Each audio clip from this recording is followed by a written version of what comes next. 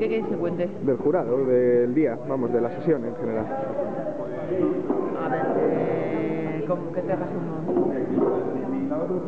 Bueno, eh, yo creo que ha sido una sesión como muy intensa y vertiginosa, probablemente como todas las elecciones de las bienales, pero está agudizada con, con la situación de que había más obras que en, la- que en las demás. Eh, yo creo que se ha seguido como intentado